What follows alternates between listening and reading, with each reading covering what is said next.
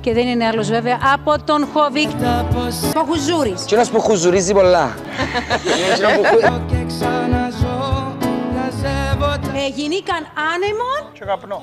Γιατί το είπες Αντώνη; Και δεν παίζουμε άλλο. Ρατσισμό ή βιώσετε; Όχι, καθόλου. Ε, δεν το έχω νιώσει ποτέ. Ο Βίκε με το που μπήκε ε, στην τάξη ήταν η θετική ενέργεια, ήταν ε, η χαρά της ζωής.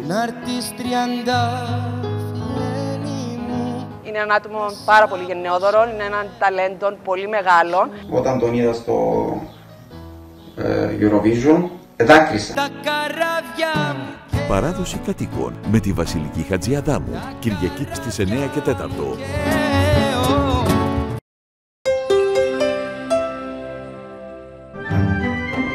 Αγαπημένες συνταγές, πολύτιμες παραδόσεις, αυθεντικές γεύσεις.